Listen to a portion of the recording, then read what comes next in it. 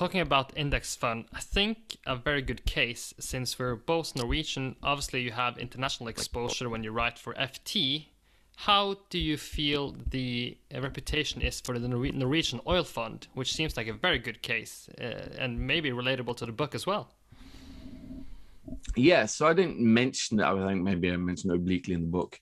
Yeah, the Norwegian sovereign wealth fund, the Norges Bank Investment Management, is you know to a large part passive for the very obvious reasons that they know they do have active components, typically in in certain very specialized areas. Uh, they also you know have what they do they call enhanced indexing, where they think like, look, we are so big and sophisticated with that we can maybe when we know something's obviously dumb, we can sort of take something out. For example, famously, they made a big deal that they took Wirecard, a German fraud, out of the oil fund before it collapsed completely.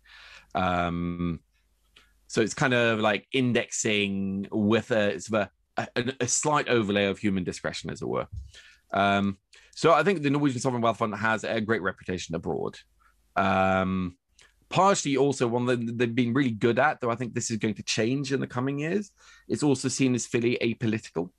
It's not seen as an extension of the Norwegian government, which sounds weird to say that that's a good thing, but it really is because you don't want people thinking this is Norway doing something, that there's like some bureaucrat sitting at the finance ministry saying, oh, we should buy X or Y.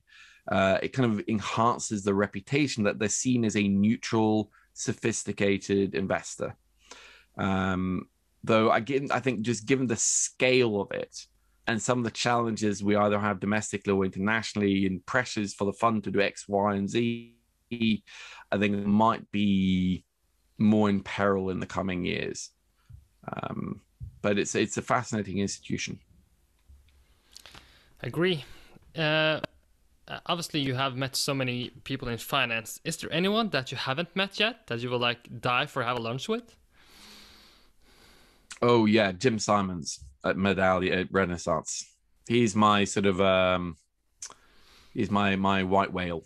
Um, he he was a just fascinating guy, uh, and uh, you know he was a you know brilliant mathematician, uh, specialized in geometry. That doesn't sound like you know we all did some geometry at school, but this is sort of multi-dimensional, very hardcore geometry. He still has like you know you know, could in theory win the Nobel Prize apparently at some point. Um, but then worked as a code breaker for the, Department of Defense during the Cold War. Then basically because of the Vietnam War, he cut he like caused a bit of a huff, so he got fired. You know, this is a guy that went like motorcycling down all of the Americas and Latin America until they ran out of money, and then kind of hitchhiked all the way home to to the US. You know, it's a pretty you know colorful character, chain smoker.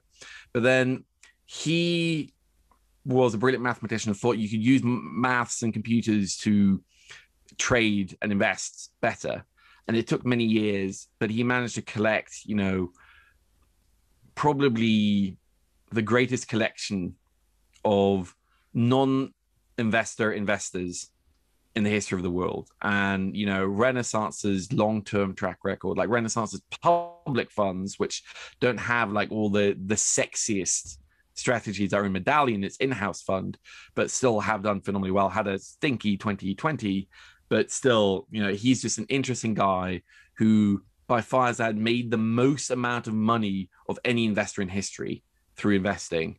And also just, you know, he gives lots of money to Democrats. He finances scientific studies around the world. He's just an interesting guy.